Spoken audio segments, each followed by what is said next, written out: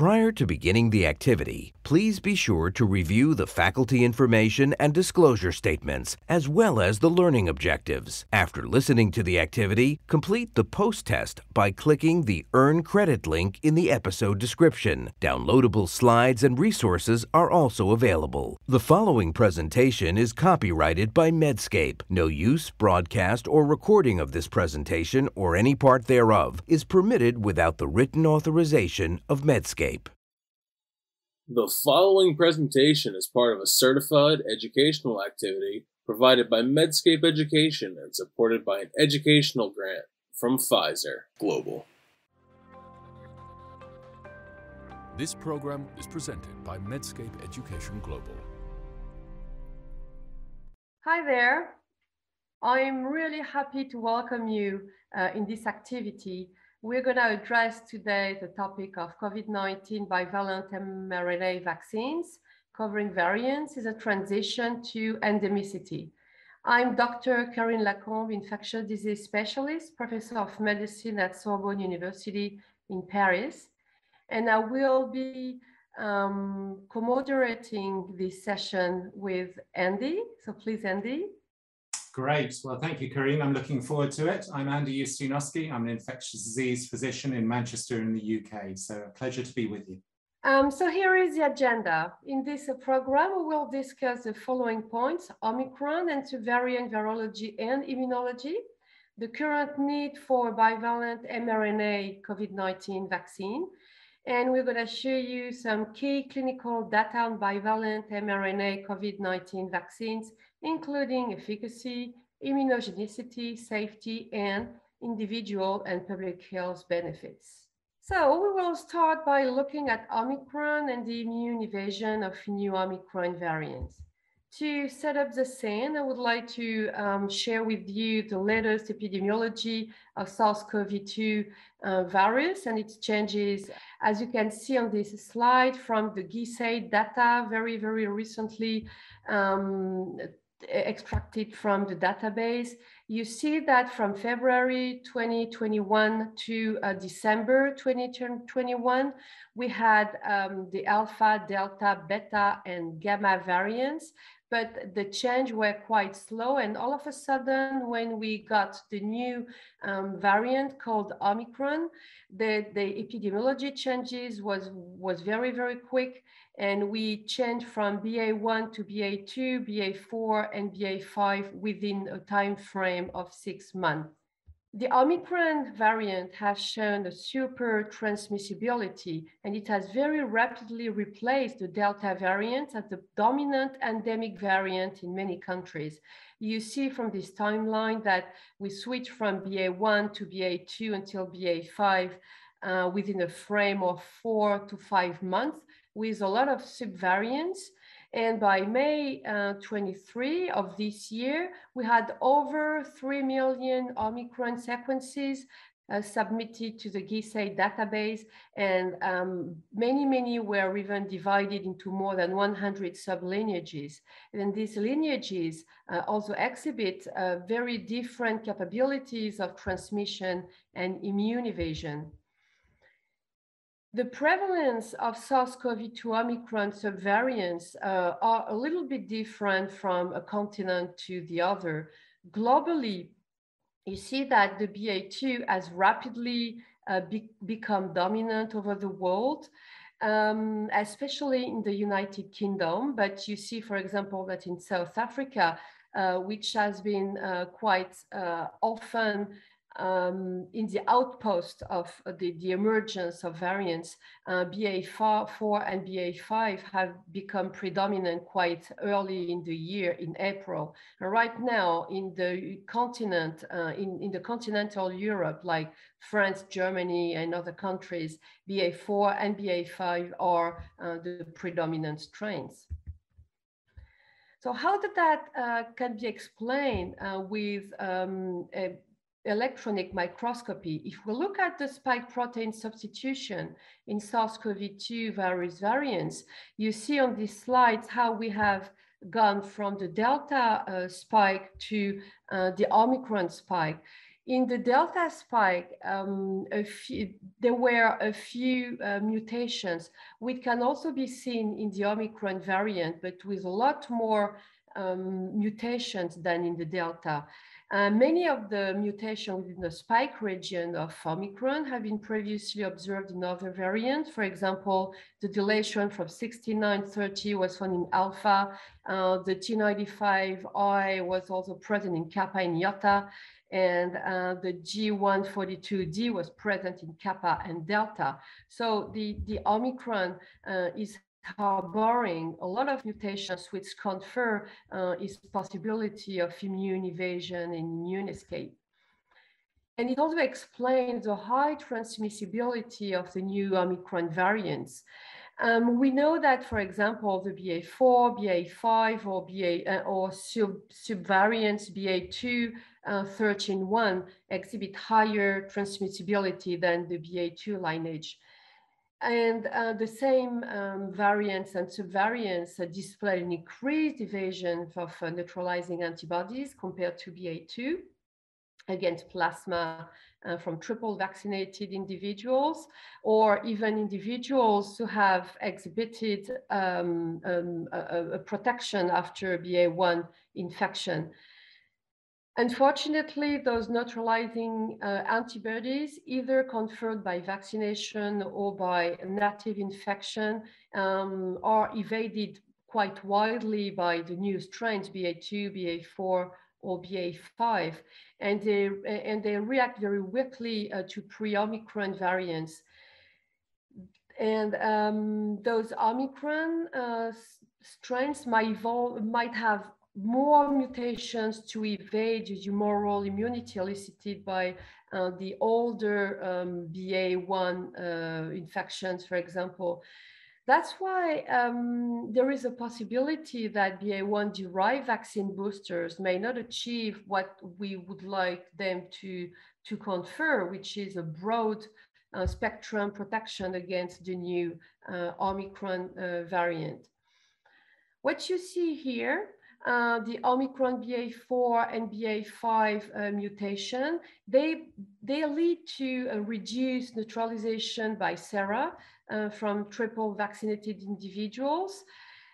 And um, also the activity of SARS-CoV-2 therapeutic antibodies, so monoclonal antibodies, are reduced against BA4 and BA5. We've got very new data regarding uh, the, the, the, marketed um, monoclonal antibodies that are sub-effective or even ineffective against BA4 and BA5 which is a source of concern for hospitalized patients and especially the immunocompromised patients. Um, BA4 and BA5 have shown a degree of immune escape from the vaccine response, as I already told you. And these reductions in neutralization titers may reduce the effectiveness of the vaccine of preventing infections. Even if until now uh, we have not seen um, any decrease in the protection against the severe disease. So there's um, um, decrease in the protection against infection, but so far no real decrease against protection um, uh, for protection against severe disease. And this is uh, strengthened by these uh, results shown here, where um, we see that there is a stronger immune escape with BA4, 5, and this subvariant called BA2, 12, 1 Omicron than what we saw with BA1 or BA2. And I uh, would like to uh, turn to Andrew to talk uh, to, to tell us about the effectiveness and duration of protection against Omicron lineage with the, the emerging variants.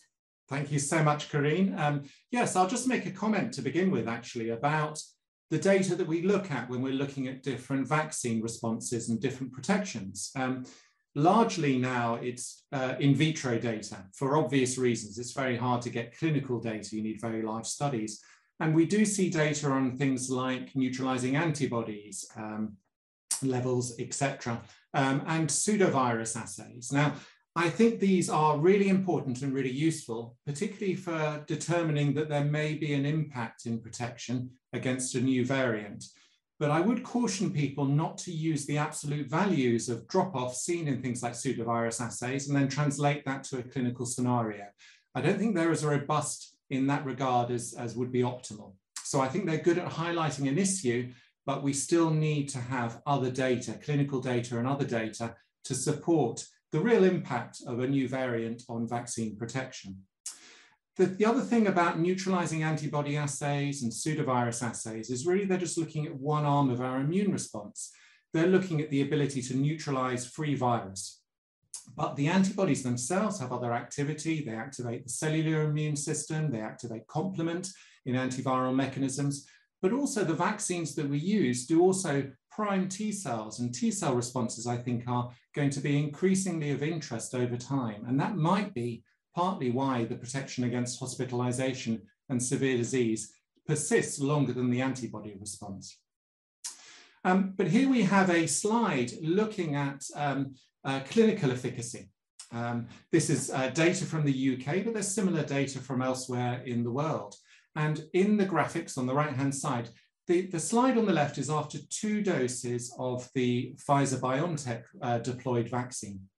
And the two uh, dots that you've got there, the darker dot is Delta variant and Omicron is the, is the lighter dot. And I hope what you can see in terms of um, the vaccine effectiveness is that Omicron uh, does seem to impact on the vaccine effectiveness, but also that vaccine effectiveness wanes more quickly. Now, if we then look at boosting beyond the two doses, in the middle panel, boosting with the Pfizer-BioNTech vaccine, um, you can see that the titers are improved and persist for perhaps a little bit longer, but again drop off more quickly with Omicron. And the same is seen if we boost with the other major mRNA vaccine, the Moderna vaccine on the panel on the right. So we do see clinical effectiveness also impacted rather than just the in vitro data that we've been speaking about. But let me pass back to Corinne now about the vaccine schedule in France. So over to you, Corinne. Yes, exactly. So where do we stand with uh, scheduling vaccines around Europe? And here is the example of what we do in France. Uh, vaccine is recommended to um, everybody in the population. It's compulsory for health workers and it's compulsory for people working with uh, very uh, with uh, elderly people. So, for example, in children from 5 to 11, we recommend two doses uh, with three weeks apart. For children above 11 and adults, two doses, three weeks apart, and one booster, three months after the second injection. And we also recommend a third a, a, second booster in a special population like adults over 60, adults living in nursing homes, all adults with risk factors for severe COVID-19, regardless of age, pregnant women, individuals living with any of the subject uh, above uh, categories. And we also recommend a third booster, uh, a third dose, sorry, and two boosters in immunosuppressed individuals um, before going to um, protection with monoclonal antibodies. Um, I have to highlight the fact that an acute COVID-19 should account for one injection. How is it in the UK? Is it different from what we recommend in France, Andy?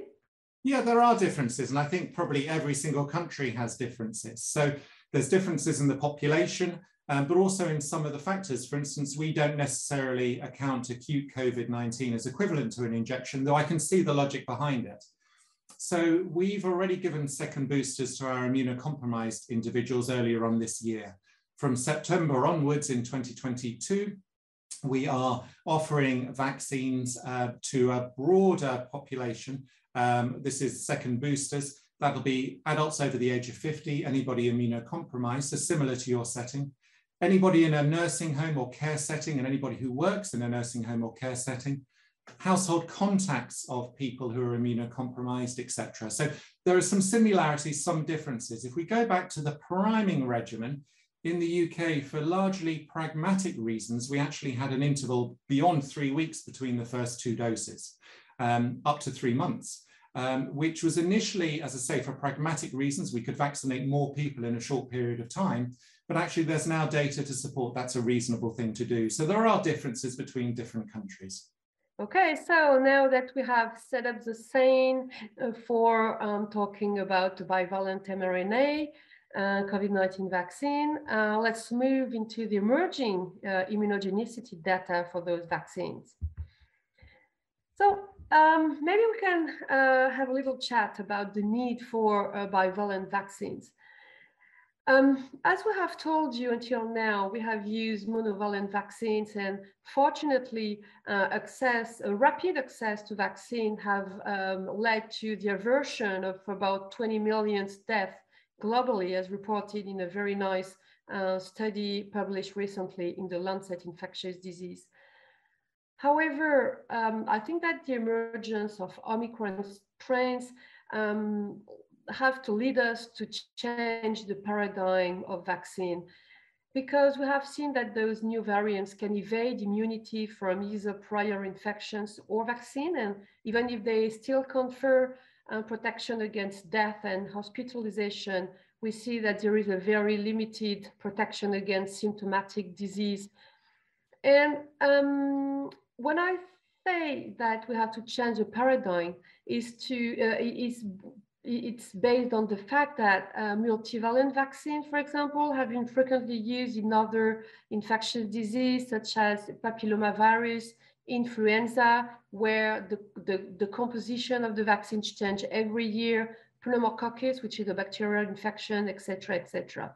So, Andy, can could we postulate that uh, the protection may be broader and stronger uh, if we use bivalent or even multivalent vaccines one day, including historical strains, for example, Omicron and the coming you know, future variants?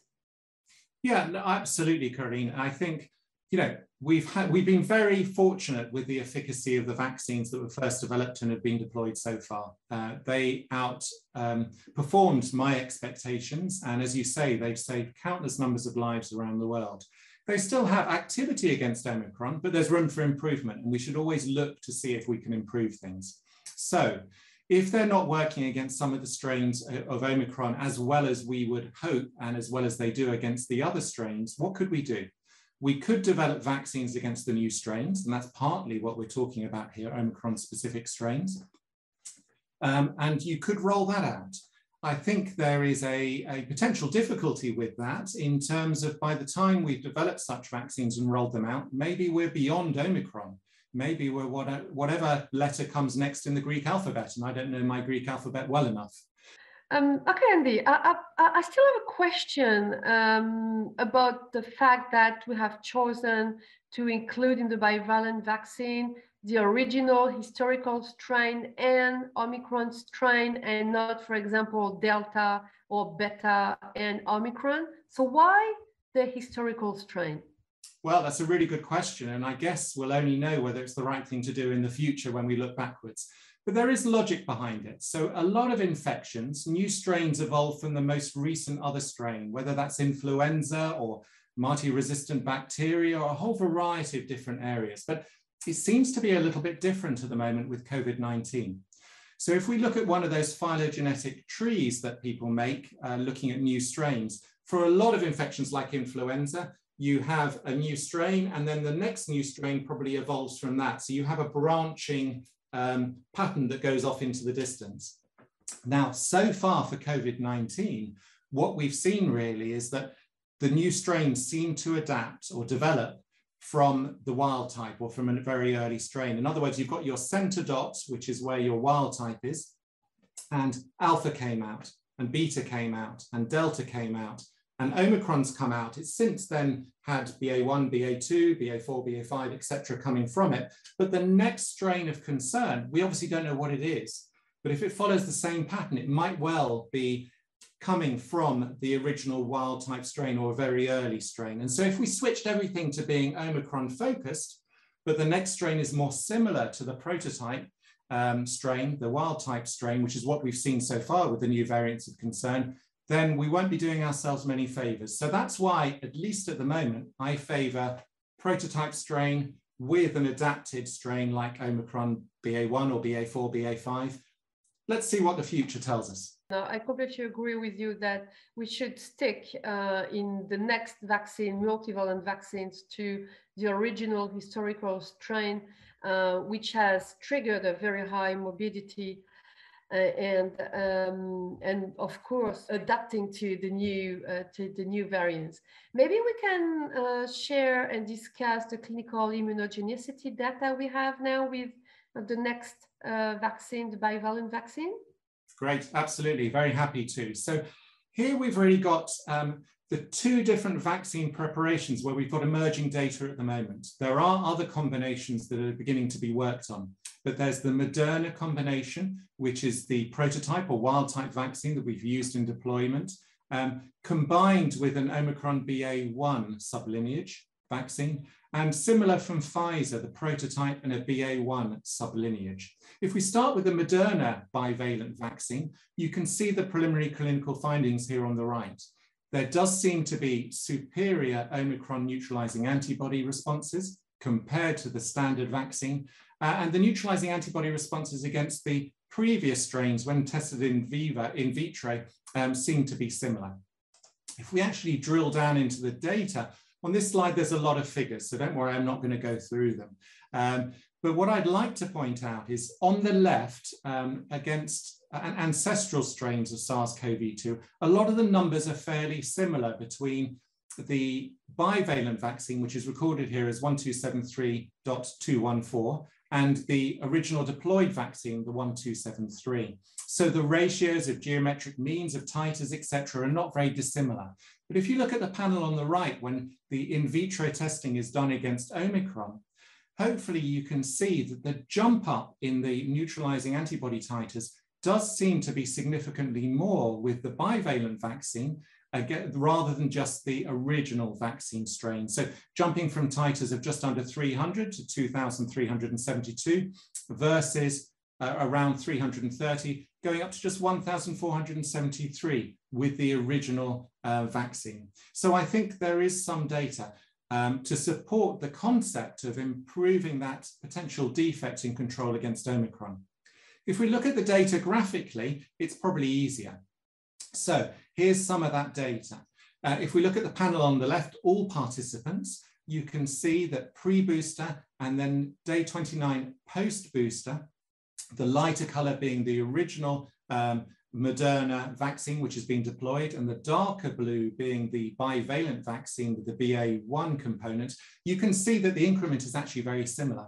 And that's also true whether you divide by no prior infection in the middle panel or prior infection on the right panel. The increment is similar between the two vaccine preparations against the ancestral SARS-CoV-2.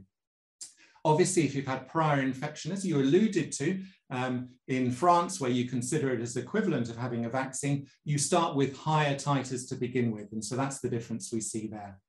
But that's against the ancestral, the previous strains. What about against Omicron? Well, here we've got the data. Now, it is a logarithmic graph, so perhaps the differences aren't always as easy to see visually.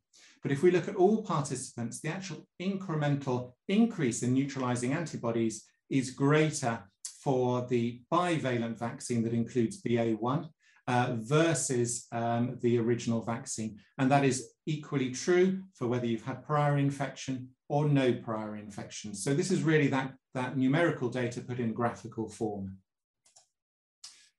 What about safety though? Because that's obviously really important as well. Well, here we've got some early data coming through about the Moderna bivalent. Now, it looks like a complicated graphic, but each of the pairings we've got here, the top line is the original deployed Moderna vaccine, and the line beneath it is the bivalent vaccine. And I hope you can see graphically that there's very little difference.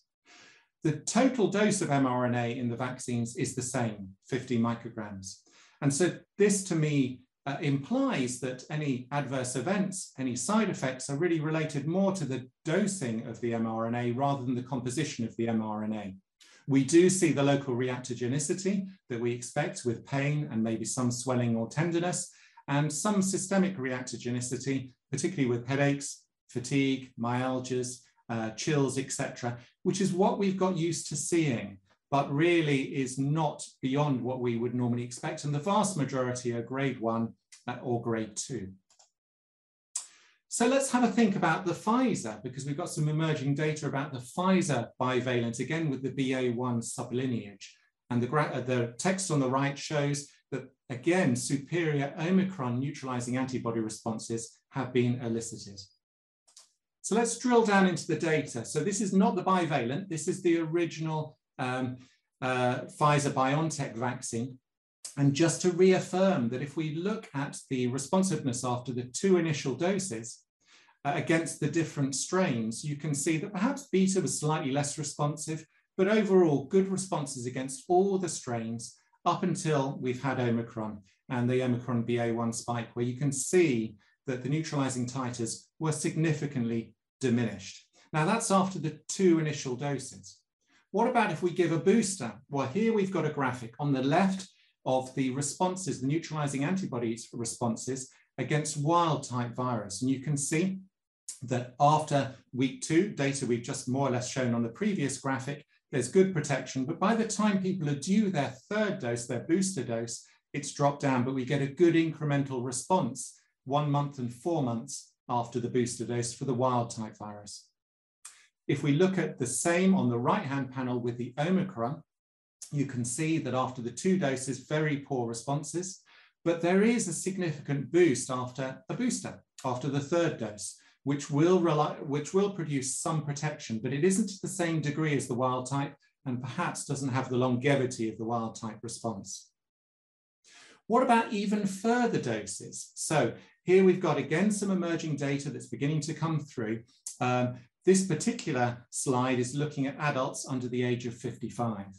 And they were given as a booster, either um, the original Pfizer-BioNTech vaccine or an Omicron monovalent vaccine. So not bivalent at the moment, but really comparing the original against one designed against the Omicron.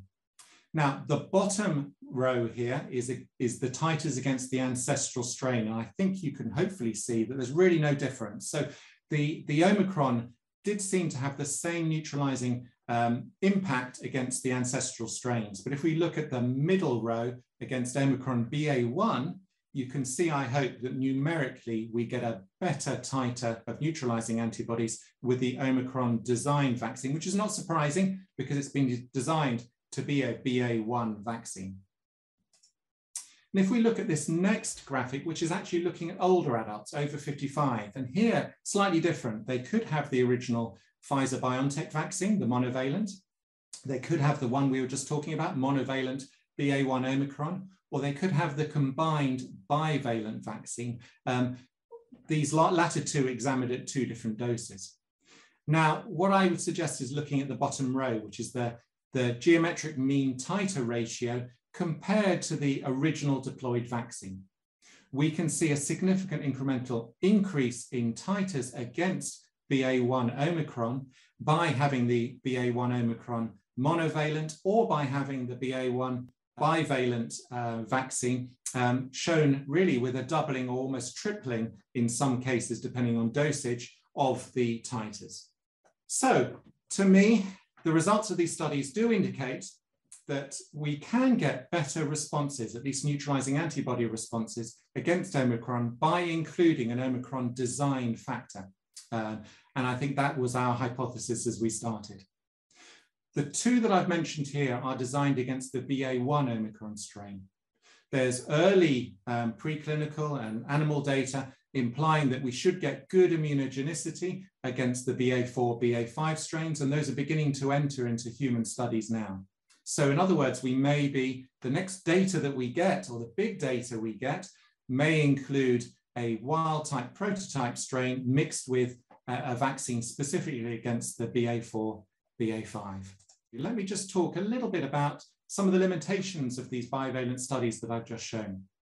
So um, we've only really looked at uh, a limited number of vaccine formulations, and there are plenty of other combinations possible, and a limiting number of dosing combinations as well.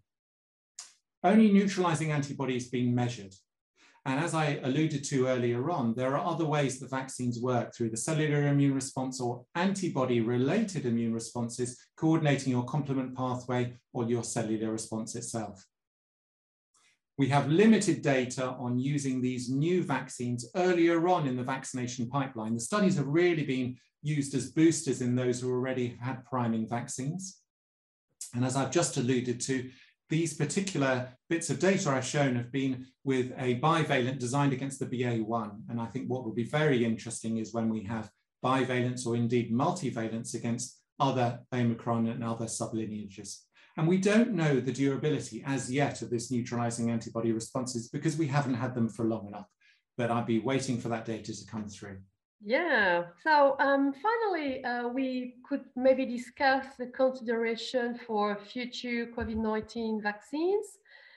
And um, of course, you have seen from the previous uh, three years that if you are slowly going out of uh, the pandemic, even if we will have to live uh, with the virus, uh, we have seen that the vaccine has been an essential tool to prevent death and hospital admissions of course, alongside with uh, uh, combined preventions during the epidemic waves. Uh, and um, unfortunately, we have experienced progressive waning immunity that has led to advocate for boosters and now uh, for new uh, compositions of vaccine like bivalent and maybe in the near future, multivalent um, vaccines. So um, it has come from the fact that uh, we have seen the emergence of a highly transmissible strains like Omicron that can easily evade uh, post-infection and post-vaccine efficacy. Um, I've introduced the term change of paradigm uh, with a switch from monovalent to bivalent and maybe one day uh, multivalent vaccines. We think, um, as Andy told you, that the best way to do that will be to keep uh, the original strain and add uh, other um, valence inside the inside the vaccine, like for now B1 as it is designed by uh, the industry, and maybe later with other uh, other strains. So what how do you see that? Uh, uh, do you think that we will um, have to change the composition of vaccines every year as we do with the flu, for example? Do you think that it will be combined with other uh, vaccines against other viruses? What's your opinion on that, Andy? A, a very good question. And I think, you know, it'll be easy in retrospect in five years' time to say what's the best thing. At the moment, we have to guess somewhat. So I think there are several things I'd like to say. First off, um, we are talking about improving vaccination responses, at least based on the in vitro data. Um, if a setting doesn't have access to bivalent vaccines, carry on with the monovalent vaccines. I provided some data saying that actually if you carry on boosting, you do get better immune responses against Omicron and potentially newer strains that come through. So don't delay having a vaccine because you're waiting for the next ones to come around the corner that maybe look better in vitro. I think get the boosters when you're offered them. And then in the future, when we have better boosters, you can get those as well. Now, if we think about the future, I think to me, there are two aspects. One is uh, how do we protect against future strains that are going to come, come through? And the other one is, well, is there a way that we can get longer lived immunity? So we're not having boosters every six months or every year from now on. And what are the best routes for doing that? Well, I do think that the logic behind bivalent or multivalent vaccines may help protect against the new variants coming through. For reasons that I alluded to earlier on, I think still having the prototype strain there to begin with is logical because the new evolved strains that we don't yet know what they are may well evolve from those strains rather than from Omicron itself. So I think having that bivalent is logical. In terms of longer lasting immune responses, well, I think we've become a lot more interested over the last few months or last year or so in T cell responses. I think what might be protecting us from hospitalizations and death is partly our T cell responses to these vaccines. Could we optimize those T cell responses? And T cell responses may well last a lot longer than the serology, the antibody responses. So I think bivalent, multivalent, perhaps focusing a little bit more or tailoring to encourage those T cell responses may be the routes forward because COVID 19 is not going away. Yeah, I completely agree with you. And I think that uh, some of the key messages um, to keep from this um, activity today is that uh, everybody should get vaccinated first. And then uh, we should promote vaccination. We should promote research um, in uh, vaccine strategies because in the future uh, we will have to adapt to uh, the new variants and the way the epidemic will evolve in. Uh, of course, not forget the combined prevention, even if vaccination is the cornerstone of the fight against COVID-19, it, it has really changed uh, the face of the epidemic. It's not only vaccine that uh, will uh, prevent um, uh, next pandemic, but also uh, combine uh, protection. Um, maybe a few last words before we wrap up this activity, Andy? Yes, well, I mean, I, I alluded to it earlier on, but I think we've been very fortunate with the vaccines that we've had so far. They've worked really well. They've saved countless lives. They still work against even the Omicron strains we're talking about, but there is room for improvement. Scientifically and logistically, we should carry on working at trying to improve things as much as possible. I think bivalent vaccines are the logical next step and are beginning to be adopted around the world in the deployed vaccine programs. But in the future, perhaps other bivalents, multivalents, T cell focused. I think we're, we've got a long way still to go. We've come a long way, but we've got a long way still to go. Yeah, definitely. So thank you, Andy. It was a real pleasure uh, to share this session with you. Uh, and I would like to thank you for participating in this activity. Please take a moment to complete the program evaluation and receive credit. Thank you and have a good day.